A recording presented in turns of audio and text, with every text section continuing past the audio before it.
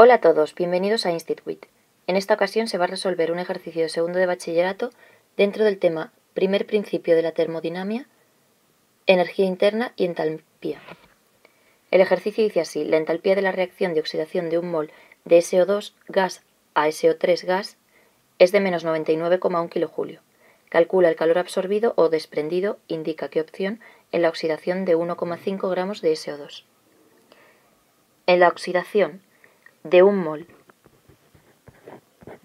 de SO2, es decir, calculamos su peso atómico y nos da 64,04 gramos, se desprenden 99,1 kilojulios. Se desprenden porque nos, esto nos lo indica el símbolo negativo de la entalpía. Por tanto, en la oxidación de 1,5 gramos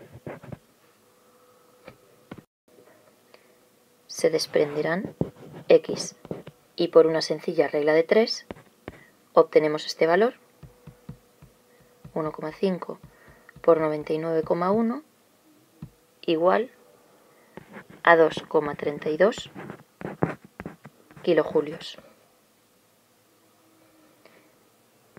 Este es el calor desprendido, sabemos que es desprendido por el símbolo negativo de la variación de entalpía. Y con esto acabo el ejercicio. Ya sabes que si te ha parecido interesante puedes guardarlo y compartirlo en tu cuenta y crear tus apuntes. Muchas gracias y ya sabes que tienes más ejemplos en Institut.